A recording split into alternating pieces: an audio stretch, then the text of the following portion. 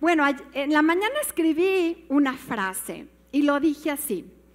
Es importante cómo comienza nuestra vida cristiana. Muy importante. Porque cuando tú le compartes a otros, siempre le hablas de quién eras y quién eres en Dios. Es tan importante platicar tu testimonio que eso atrae a muchas personas. De hecho, a veces en tu propia casa te ve la gente y dice, pues algo está pasando en ti. Hay algo diferente, veo, noto algo distinto, ¿no? Y eso me atrae. Yo deseo tener lo que tú tienes. Yo deseo tener tu paz. Yo deseo tener esa alegría. Yo deseo cambiar. Yo también deseo dejar las drogas, el alcohol, como tú pudiste dejarlo. Yo también deseo vivir lo que tú estás viviendo. Entonces convence, nuestro testimonio verdaderamente convence. Entonces es muy importante cómo empieza tu vida cristiana. Pero más importante, mucho más importante, es cuando tú ya no estás en esta tierra y cómo eres recordado. ¿Qué dice tu familia de ti? ¿Qué dicen tus hijos de ti? ¿Qué dice la gente que te rodea de ti?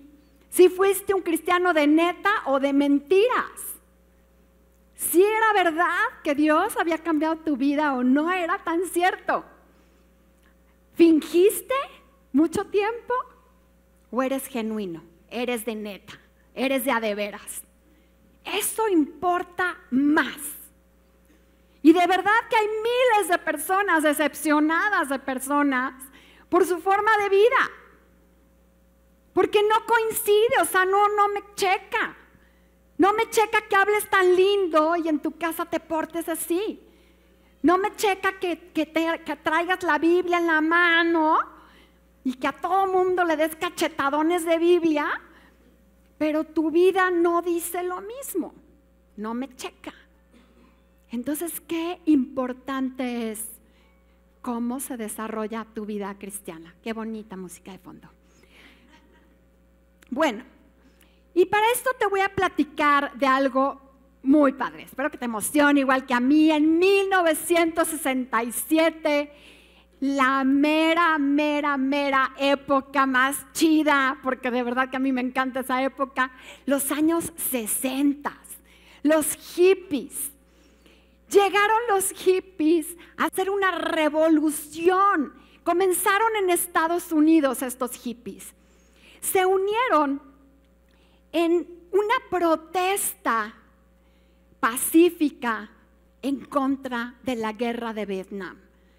Muchos de estos jóvenes hippies habían sufrido los desastres de la guerra. Muchos de esos jóvenes hippies habían sufrido, tal vez habían perdido a sus padres, a su padre que se fuera a la guerra o sus hermanos mayores. Y eso es lo que estaban viviendo. Así que comenzó una revolución, una verdadera revolución, pero era una revolución pacífica, ¿no? Entonces todos estos jóvenes que se vestían increíble con sus pantalones acampanados, que a mí me encantan los pantalones acampanados, sus bototas, sus florecitas, todas las chavas se ponían acá sus cositas en la cabeza. Sí, todos pintaban sus camisas a mano con flores, con cositas, sus pantalones. Y todo, todo lo que decía, todo era como una revolución. De hecho, las mejores bandas nacieron en ese tiempo. ¿Quién no se acuerda de los Rolling Stones, de los Beatles? ¡Wow! De hecho, hay una canción que seguramente has cantado, seguro que la has cantado. Sepas o no sepas de quién la canta, pero la has cantado en alguna fiesta, en alguna boda, en alguna discoteca, eh, antro. y es la de I can get no. Así se la saben. Pero esta canción de los Rolling Stones, tan famosa, nace precisamente, o el autor, el que le escribe, es algo que viene de adentro de él diciendo, nada me satisface. Ni el sexo, ni las drogas, ni el reventón, ni la fiesta, nada me satisface. Porque toda esta generación que se unió, sí, pacíficamente, comenzaron a meterse al sexo libre comenzaron, comenzaron a meterse a las drogas, la marihuana y el LSD sobre todo. Y alucinaban y, y según ellos estaban acá en un rollo acá espiritual muy chido. Pero ¿qué creen? Pues que no funcionó. Eso no los llenó tampoco. Entonces canta esta canción, esta canción escrita que se refiere a un joven que nada le satisface. ¿Y a poco no?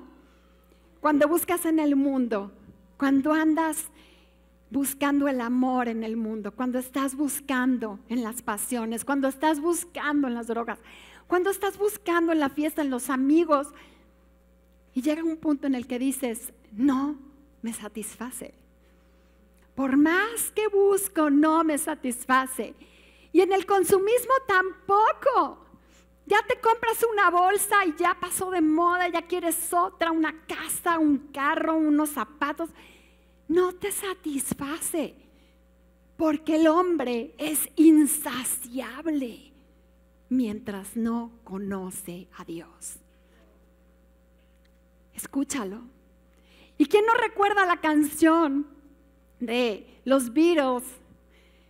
La de Imagina. Imagine all the people. Bueno, yo como no sabía mucho inglés, pues yo me imaginaba que era una canción que decía cosas bien chidas. Pero cállate que la voy viendo en, en español. Y dice, imagínate que no existe el paraíso, que tampoco existe el infierno que nada más por encima de nosotros tenemos el cielo. Imagina que toda la gente vive el hoy, peace and love, ¿no? El mensaje, el mensaje de hagamos el amor y no la guerra, peace and love. Imagina que no hay países, nada por qué matar, nada por qué morir, ninguna religión, que toda la gente vive en paz. Qué padre, soy increíble. Pues sí, sí, sí, soy un soñador, pero no soy el único. Espero que algún día te unas a nosotros y el mundo será como uno. Ese era el lema hippie. Únete a nosotros, seamos uno. Y entonces se, formaron las comunidades hippies y todos dejaban sus casas y vaya sus papás. Imagínense todos estos chavitos que estaban acá que te dijeran, no, pues yo ya me voy de la casa Mao, o sea, yo ya. Y sale con su ropa hippie, con su flor en la cabeza, descalzo, y se van a vivir juntos todos, solos. ¿Qué crees que pasa ahí adentro? Dios nos libre y nos proteja. No funcionó. Obviamente, muchas chicas quedaron embarazadas, de quién sabe quién. Bebés tenían que ser rescatados de estas comunidades hippies porque los hippies se drogaban por días enteros con LSD, con marihuana, con todo, y esos bebés abandonados sin comer. Muchos incluso murieron. Entonces se oye muy padre que todos en paz y únanse a nosotros y vamos a ser libres y vive el amor y, no hay guerra y paz. Pero en realidad no funcionó. Y en medio de todo esto surge uno de estos hippies, uno de estos hippies, se llama Looney Frisbee. Y te voy a platicar de él.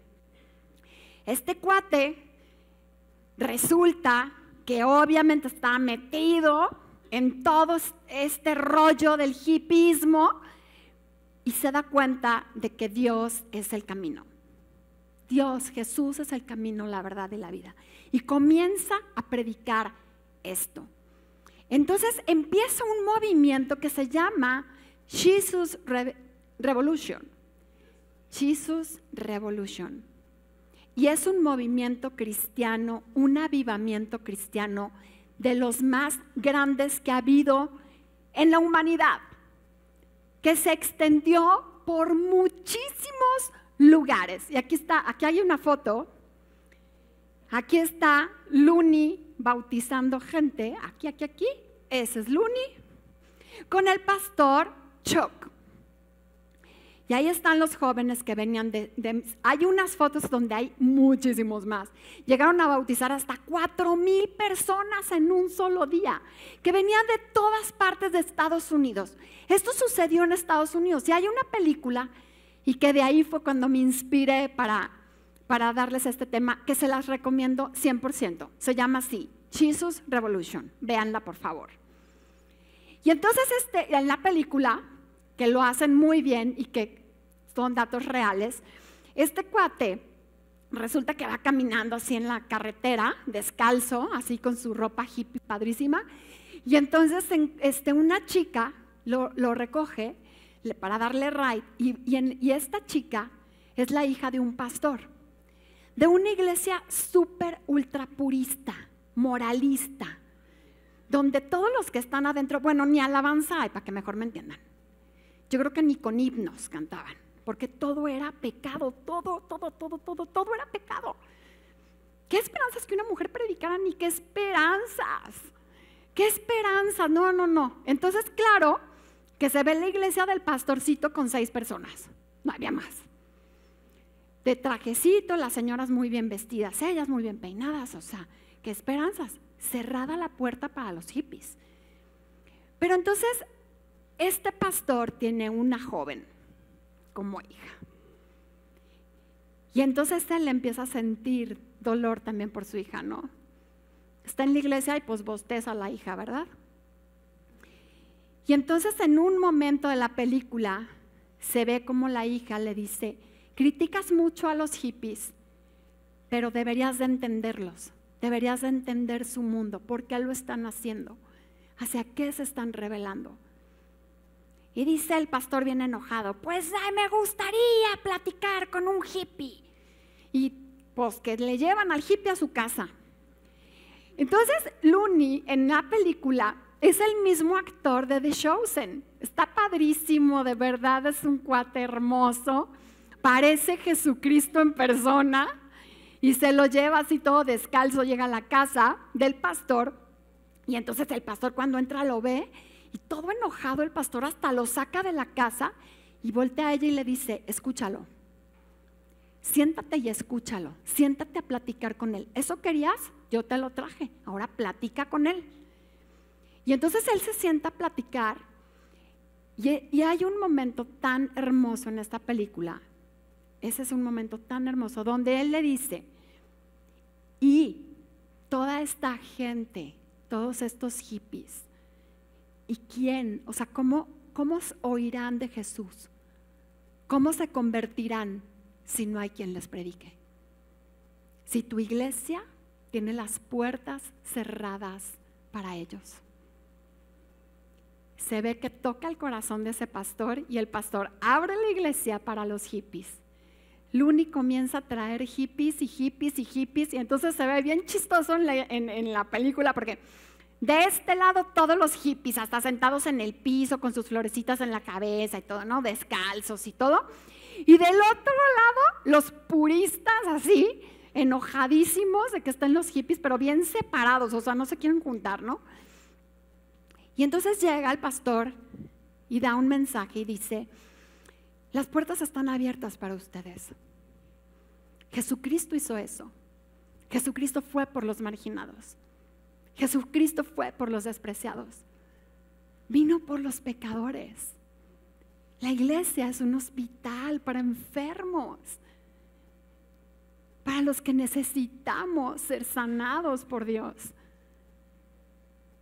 Eso es la iglesia. Aquí todos deben de ser bienvenidos. Aquí no debe de haber discriminación. Eso es la iglesia y les dice ustedes son bienvenidos. Pero también esa puerta está abierta para los que no deseen esto. Y también está abierta hacia afuera, si se quieren ir. Pues ya se paran los enojados en la película, dos, tres enojados, para irse. Y se para otra persona. Y mira hacia afuera los que se están yendo, mira al pastor y se cambia al otro lado, un señor hermoso y abraza a los hippies. Eso se me hace tan hermoso porque demuestra lo que nosotros debemos de ser. como seres humanos egoístas, egocéntricos, quisieran que todos fueran como nosotros, que la gente piense como yo pienso, que hagan los demás lo que yo hago. Yo soy el ejemplo, ¿no? Pero cuando aceptas que todos somos diversamente diferentes, gracias a Dios que todos somos diferentes, y que una iglesia es un cuerpo en donde cada uno tenemos una parte, donde cada uno tenemos algo que hacer. Yo no pretendo ser como el camarógrafo, no tengo ni idea de manejar la cámara. No pretendo ser como todos los chicos que están allá atrás en producción ni sé cómo le hacen con las computadoras ni nada. Mucho menos me voy a poner a cantar, soy pésima, canto aquí, porque no me escuchan, porque se me pierde mi voz. Pero imagínate los gallos que se me han de salir. Cada uno tenemos una parte, cada uno tenemos una parte. Y quiero llegar a esta, a esta parte de la Biblia, vamos a leerlo y vamos a verlo en la Biblia. Filipenses 2. Por cierto, mi tema es enfócate. Enfócate. Ahorita te voy a decir por qué. Vamos a ver Filipenses 2. Vamos a leer la primera parte de estos versículos. Y dice, Filipenses 2, tengan la actitud de Cristo. ¿Hay algún estímulo en, en, pertenecer a Cristo? ¿Existe algún consuelo en su amor? ¿Tenemos en conjunto alguna comunión con en el Espíritu? ¿Tienen ustedes un corazón tierno y compasivo? Y cuando escribió Pablo esta parte de la palabra, comenzaba con una palabra griega que es aun. Y lo que significa es si hay. O sea que él está esperando una respuesta a estas preguntas. Y la respuesta es sí. Así que voy a volver a hacer las preguntas y toda la iglesia va a contestar a cada pregunta sí, ¿va? Va de nuevo. ¿Hay algún estímulo en pertenecer a Cristo? Sí. ¿Existe algún consuelo en su amor? Sí. ¿Tenemos en conjunto alguna comunión en el Espíritu? Sí. ¿Tienen ustedes un corazón tierno y compasivo? Eso espero que sí. Pero ahorita vamos a ver si no lo tienes, qué nos aconseja la palabra.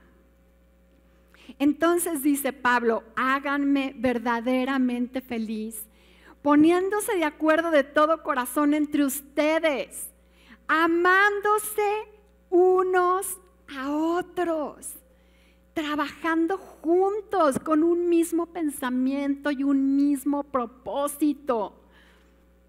No sean egoístas no traten de impresionar a nadie. ¡Ey! La enfermedad de este mundo.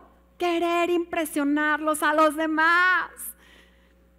Todas las redes sociales están hechas para impresionar, para obtener seguidores, para obtener likes, para que todo mundo te siga. Ay, qué guapo, ay, qué guapa, ay, qué bonito, ay, qué flaca, ay, qué musculoso, ay, ay, mira, viaja mucho, ay. Para eso son.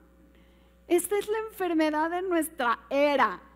El querer ser influyentes, influencers. ¿Verdad? Pero aquí nos dice, no sean egoístas, no traten de impresionar a nadie, sean humildes, es decir, considerando a los demás como mejores que ustedes. No se ocupen solo de sus propios intereses, sino también procuren interesarse en los demás. Así como ahorita oramos por este chico. A lo mejor nunca, nunca lo habías visto en la iglesia, pero ahorita ya lo viste. Ahorita ya va a ser importante para ti, ahorita es importante que ores por él porque va a tener un camino por delante, nos importa su vida, nos importa su futuro, nos importa lo que Dios va a hacer con él, nos importa a dónde va a ir. Y eso es lo que Dios quiere, que nos interesemos por el de al lado, que nos interesemos por los demás, que tengamos esta clase de amor como iglesia. Ahora, te platiqué esta historia, ahí crecieron las mega, mega, mega iglesias. En ese tiempo comenzaron las mega iglesias, en los años 60, 70. Y ahora sí que hay mega iglesias impresionantes. Yo conozco una en Texas del pastor Joel Austin que tiene miles de miembros. Créeme que el pastor Joel Austin no conoce a los miembros de su iglesia. De hecho, al final del servicio se para y hacen una fila la gente para poder saludarlo. Y ahí, pues, hay más o menos, yo creo que se acordará de uno que otro, pero ¿cómo se va a acordar de los miles y miles que hay allá adentro? Finalmente, Dios desea, claro, ningún pastor, ni, ni yo me acuerdo de todos ustedes. Si me ven en la calle, por favor, salúdenme, porque no, no me acuerdo de todos. Ustedes sí me ven aquí, pero yo no los veo a todos. Y pues ni modo, porque no tenemos esa capacidad. Pero tratamos de hacer pequeñas comunidades, que es lo que estamos haciendo ahora. Pequeñas comunidades para que la gente conviva, para que la gente se conozca. Hacemos pequeños grupos para que las personas se conozcan, para que haya más comunión, comunidad, unos con otros. De eso se trata la iglesia. Y soy súper curiosa. Entonces me metí a ver qué había pasado con Looney Frisbee, porque pasa en la película un evento con el pastor Chuck Smith, donde se pelea con Looney, porque Looney quiere pues todo el protagonismo. A ver, imagínense este compa hippie descalzo que ha traído a miles y miles y miles a la iglesia y que es un chavo inmaduro y de repente es famosísimo. Todo el mundo lo conoce. Pues este chavo no puede con tanta fama. Entonces ya de repente se siente acá y el pastor pues se enoja con él y el cuate dice, ah, pues te voy a ahorrar este, el problema de, de correrme. Y se va. Y era un predicador impresionante, increíble, como Cristian, como como JM, como Gaby, wow, o sea, predicadores increíbles. Claro que ese pastor sintió chino, o sea, pues una super pérdida. Porque te voy a decir algo, todos somos indispensables en la iglesia, todos. Tal vez en un trabajo, tal vez en un negocio, tal vez en otra cosa no eres indispensable y te lo dejan bien claro. Pero en la iglesia eres importante. En la iglesia eres indispensable. Porque ¿sabes por qué? Porque lo eres para Dios. Si solamente existieras tú solo en la tierra, tú solo, de igual manera Jesús hubiera muerto por ti. De igual manera Jesús hubiera muerto por ti. Así de importante eres. Entonces me metí a investigar acerca de Luni, qué pasó con Luni, por qué se fue y qué sucedió con él. Pues resulta que su vida, la vida de este chavo, no dio un fruto tan chido. Por eso te leí lo que te puse al principio. Qué importante es lo que pasa en el transcurso de tu vida. Se volvió a las drogas, se volvió al sexo desenfrenado Murió con SIDA en 1993. Y qué triste, ¿no? ¿No te da tristeza eso? ¿No sientes gacho por él? Qué feo, qué triste, o sea, ¡ah, qué impotencia! Y sabes que eso no habla mal de Cristo, porque Cristo sigue siendo Cristo, Dios sigue siendo Dios, Dios es inmaculado, Dios es perfecto. Habla mal de él, de su vida. Y también habla mal de los cristianos. Por eso mucha gente se decepciona de los cristianos por nuestro mal testimonio. Por eso es tan importante nuestro testimonio. Así que te voy a dar seis consejos para que mantengas un buen testimonio en tu vida. Fíjate lo que dice ahí mismo. Estamos en el verso número 5, Filipenses 2, 5. Tengan la misma actitud que tuvo Cristo Jesús. El primer consejo es actitud. ¿Qué onda con tu actitud? Revisa tu actitud. Aquí, aleluya, sí, Señor, te alabaré, como dice Aris, levántense, aplaudan, sí, aquí estás alabando al Señor. Sales de aquí, llegas a tu casa y a todo mundo tratas con las patas. ¿Esa es una chida actitud? ¿Qué onda con tu actitud? Tengan la misma actitud que tuvo Cristo Jesús. Y para eso te quiero decir, pon tu mirada en Jesús. Pon tus ojos en Jesús. Porque todos los humanos, todos, todos, todos, todos somos imperfectos, todos fallamos, todos la regamos.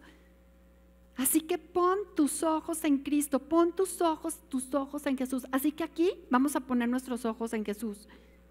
La misma actitud que tuvo Cristo Jesús. Yo no te digo que tengas la mía, yo a veces fallo. Misma actitud que tuvo Cristo Jesús, que aunque era Dios, no consideró el ser igual a Dios fuera algo a que aferrarse. Segundo consejo, no te aferres. No te aferres. ¿A qué nos aferramos? Piensa en eso. ¿A cuántas cosas estamos aferrados en nuestra vida? San Agustín decía, debes vaciarte de aquello con lo que estás lleno para que puedas ser llenado de aquello de lo que estás vacío. A veces estamos llenos de ego, de orgullo, de soberbia, nos creemos Juan Camané y nos creemos lo máximo, no, yo soy bueno, perfecto, y todos los demás no, pero yo, uff, vacíate, tienes demasiado de ti para que seas llenado de Dios. Llénate de Dios. Cuando estás criticando a todo el mundo, cuando estás con coraje, con odio, con rencor, con soberbia, cuando no puedes perdonar a tu papá, no puedes perdonar a tu mamá, cuando traes un chorro de cosas arrastrando en tu vida. No te aferres a eso. No te aferres al pecado, no te aferres a esas cosas. Renuncia a esas cosas. No te aferres.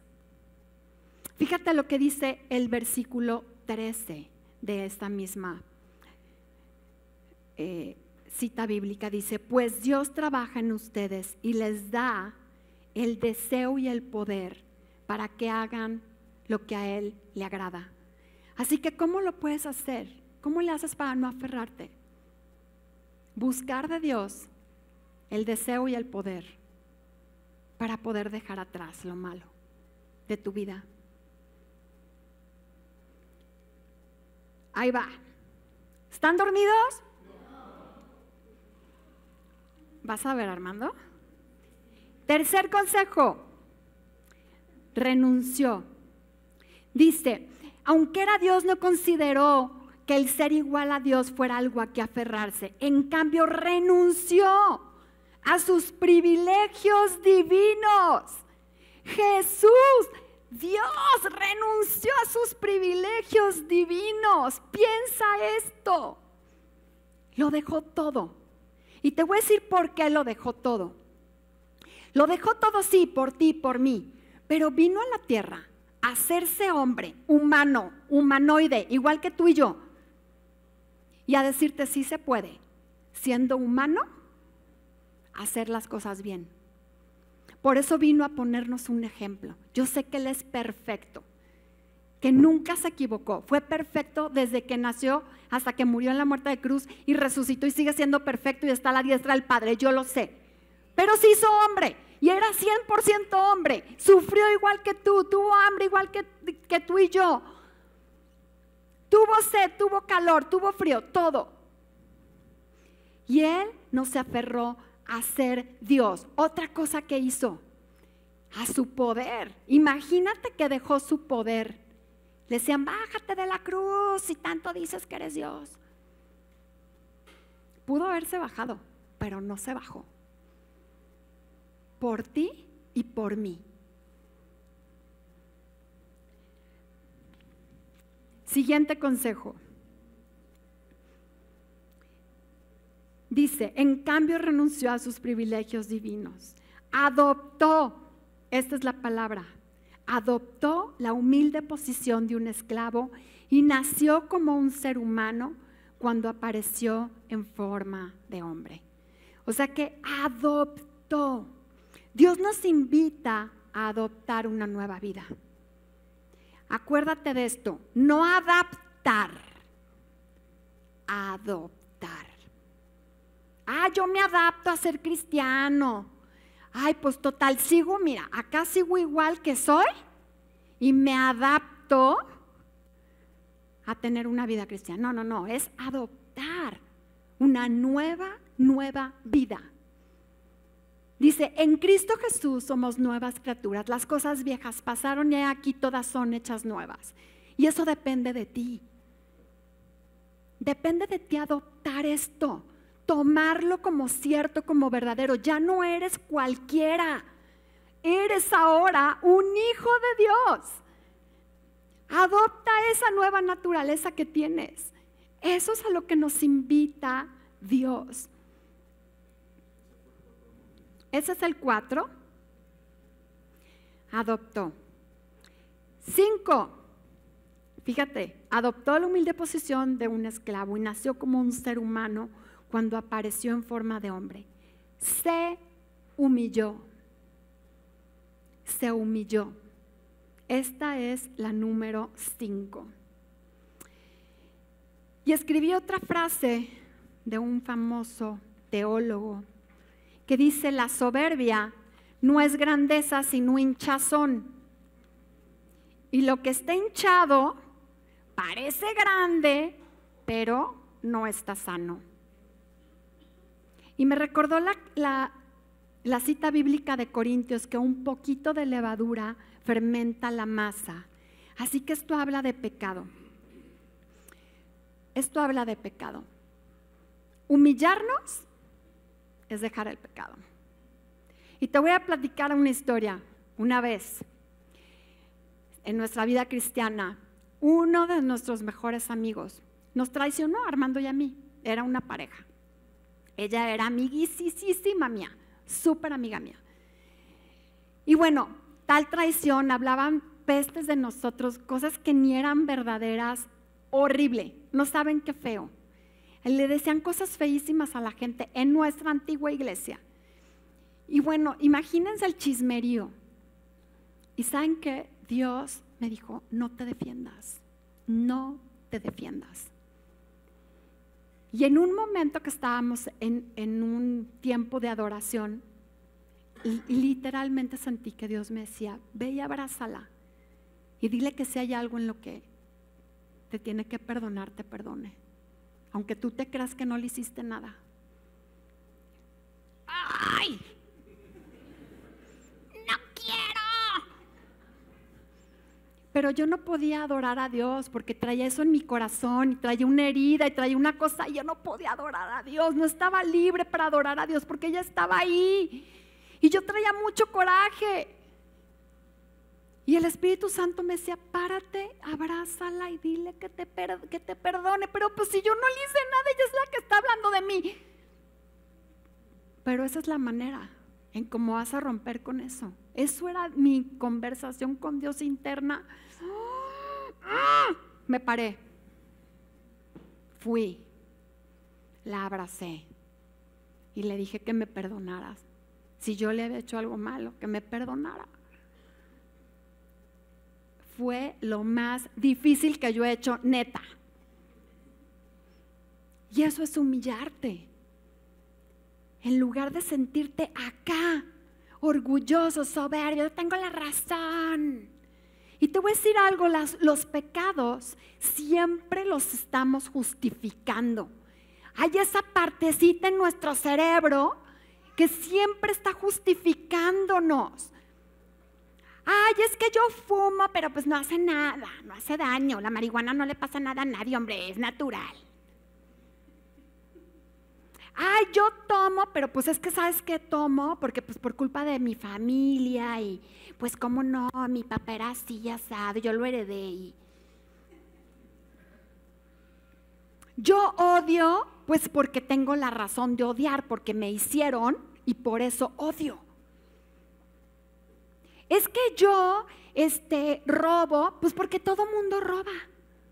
Ay, por favor, todo mundo roba.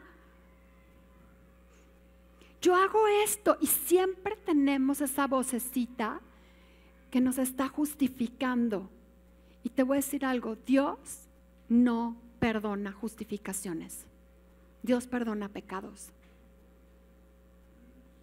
Así que humillarnos, reconocer nuestros pecados, traerlos delante de Dios y decir, ya, ya basta, Sara, ya basta de justificarte. Necesitas un cambio en tu vida, algo drástico para dejar eso atrás, ya. Dite a ti mismo eso. Nadie te lo va a venir a decir porque tú mismo te estás justificando en tu cerebrito. Ay, es que yo estoy diagnosticado con una enfermedad incurable, por eso hago lo que hago.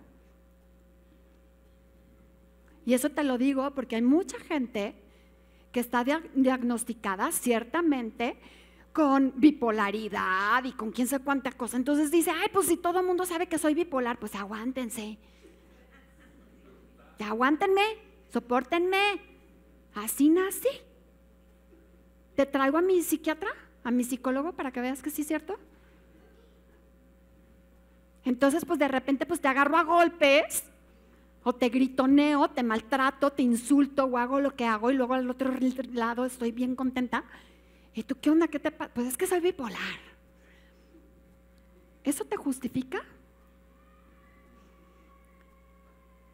Dios no perdona justificaciones. Dios perdona pecados. Reconoce tus pecados, ven delante de Él y Él te va a liberar. Creo que por eso me detuve tanto tiempo en la número 5. Jesús se humilló. Y finalmente dice, y Él se humilló a sí mismo en obediencia a Dios y murió en una cruz como morían los criminales. ¿Merecía morir como un criminal? Si no fue criminal, pero él se humilló a sí mismo y murió en una cruz como morían los criminales. Por ti y por mí. En obediencia a Dios. Dios le dijo, ve y muere ahí. Para que salves a la humanidad. Así que estos consejos, cinco consejos seis consejos, perdón, porque el último es la obediencia a Dios. Porque Dios te va a decir en muchas cosas, en muchas, muchas, muchas cosas, que le obedezcas.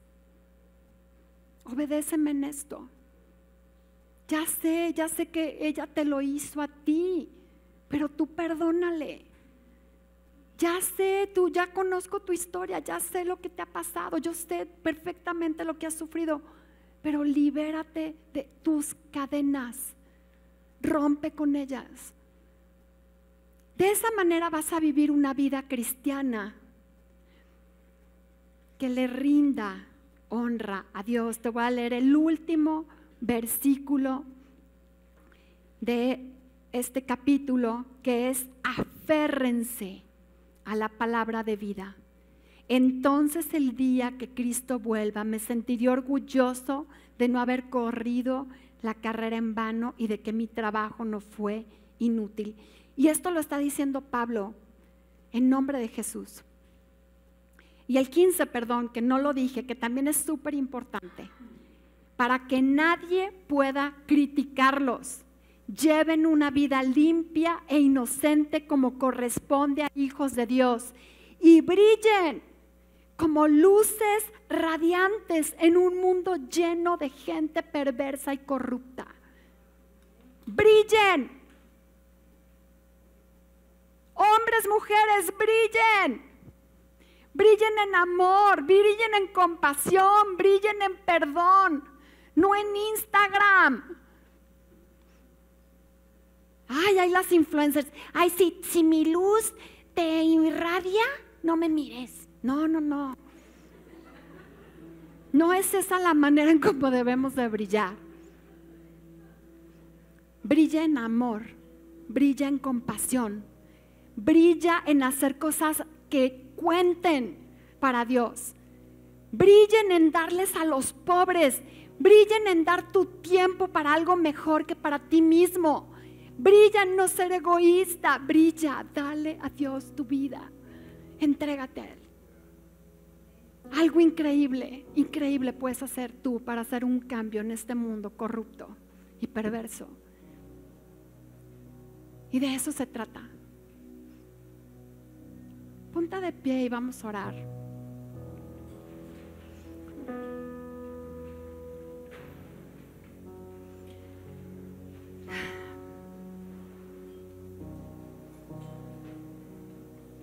Aquí estamos, Señor, delante de ti.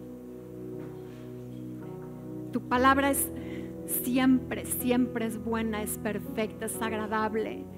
Traspasa nuestra vida, nuestros corazones, rompe lo más duro, quebranta lo más oscuro, entra la luz donde no había luz, nos haces ver cosas que nadie más nos puede hacer ver. Solamente necesitamos de ti, Espíritu Santo, Jesús, ven a nuestra vida, tú llénanos, vacíanos de, de tanta cosa que nos hemos llenado en este mundo, Señor. Y llénanos de ti, Espíritu Santo, llénanos de ti, Jesús. Necesitamos que ardas en nosotros, que quemes todo lo que sobra, todo lo malo de nosotros que nos pulas como a brillantes, que nos quites lo que nos sobra y nos des lo que nos falta, Señor. Haznos tus hijos y que, que brillemos en este mundo y, te, y que tengas orgullo de nosotros, Señor. Que nuestra vida dé ejemplo, que nuestra vida atraiga a otros, que nuestra vida sea una vida que de verdad cuente, Señor a nuestro alrededor, en nuestra familia, con nuestras amistades, en nuestros trabajos, Señor. Que seas tú tan poderoso en nosotros, Señor, que cuando abramos nuestra boca salga esa palabra de amabilidad, de amor para otros. Que seamos incluyentes, así como ese pastor incluyó a todos estos hippies en su iglesia descalzos, como se vestían, como eran.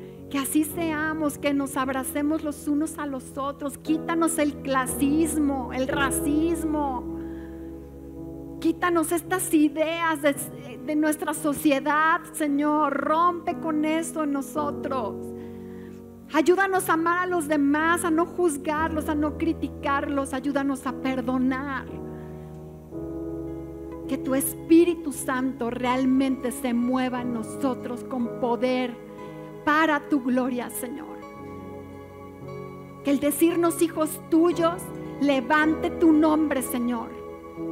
Levante tu nombre en alto, Señor. Límpianos de maldad. Rompe de nosotros todo lo que nos ata, toda atadura de pecado, Señor Haznos como tú, Jesús, a tu imagen y semejanza, Señor. Cambia nuestra mentalidad. Inúndanos de tu amor, Señor. De tal manera que lo único que salga de nosotros sea amor hacia otro, Señor. En el nombre de Cristo Jesús. Amén.